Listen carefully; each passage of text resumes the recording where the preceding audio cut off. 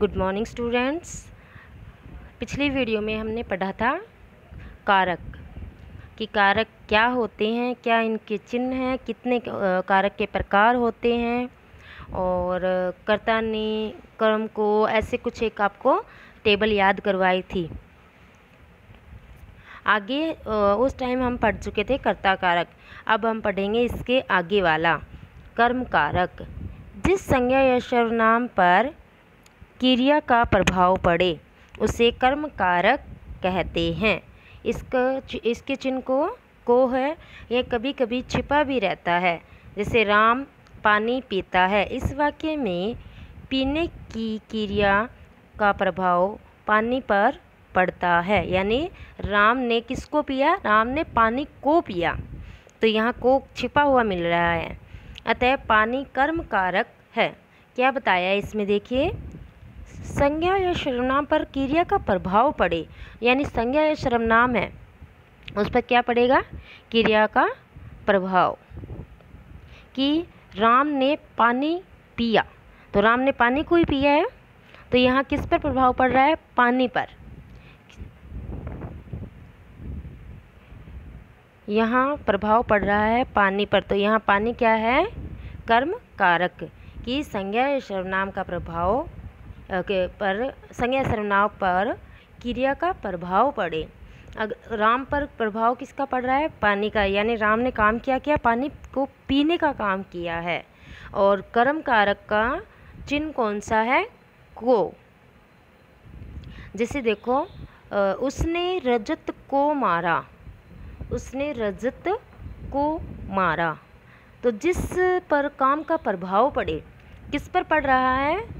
उसने है कोई और रज उसने रजत को मारा है।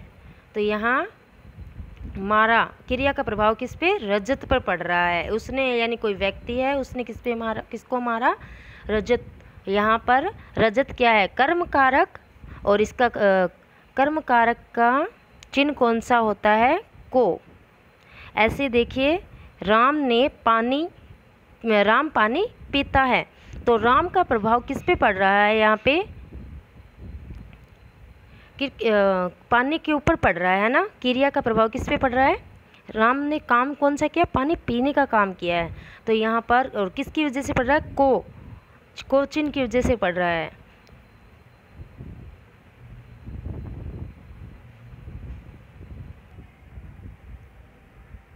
आगे हम पढ़ेंगे अब करण कारक।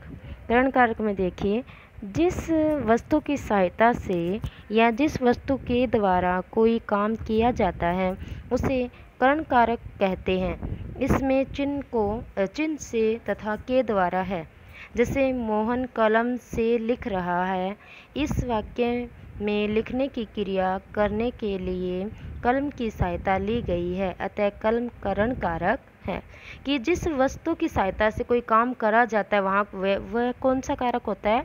वो करण कारक ही होता है। करण कारक की विभक्ति क्या है? से और के द्वारा। अगर से और के द्वारा हमें मिलता है और जो वस्तु है, वो क्या कहलाएगी? करण कारक और से और के द्वारा से उसकी करण कारक की पहचान की जाती है।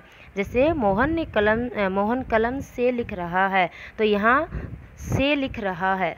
यानी मोहन किसकी सहायता से काम कर रहा है? मोहन कलम की सहायता से कोई काम कर रहा है। तो करता तो यहाँ मोहन है ही, करता कारक तो। लेकिन इसमें कारक कौन सा है साथ में? के द्वारा सॉरी कलम से।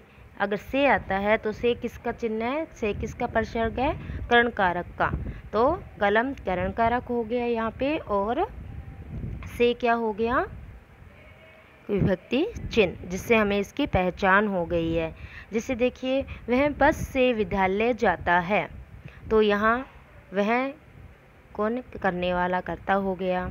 और बस से, यानी बस के द्वारा, बस से विद्यालय जाता है।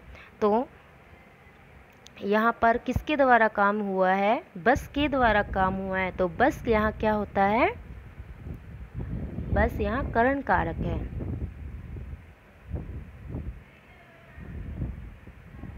ऐसे जैसे हमें पत्र द्वारा समाचार मिला तो किसके द्वारा मिला? पत्र। तो पत्र यहाँ का क्या होता है? कर्ण कारक आगे देखिए। संप्रदान कारक जिसके लिए किसी क्रिया को किया जाता है, उसे संप्रदान कारक कहते हैं। यानी जिसके लिए कोई हम कोई है, उसके लिए हम कोई काम कर रहे हैं। तो उसको क्या कहते हैं? करण कारक जिस चिन्ह के लिए, जैसे वह अपने भाई के लिए अमरूद लाया तो यहाँ किसके लिए काम हो रहा है? भाई के लिए। भाई के लिए हो रहा है तो भाई यहाँ क्या होता है? संप्रदान कारक और इस वाक्य में लाने की क्रिया भाई के लिए हुई है तो यहाँ पर काम किसके लिए हुआ है? भाई के लिए। और अतः भाई संप्रदान कारक है। के लिए के लिए चिन्ह मिलता है तो वहाँ संप्रदान कारक होता है।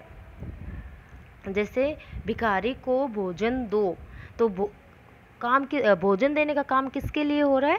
भिखारी के लिए। तो भिखारी क्या हो गया यहाँ? संप्रदान कारक सभी के लिए कपड़े लाओ।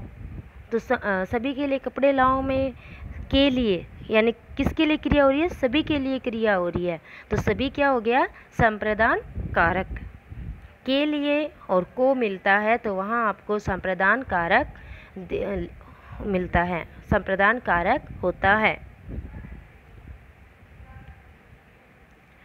इसमें हम इतना ही पढ़ेंगे। आगे का हम, आगे की वीडियो में पढ़ेंगे। Thank you.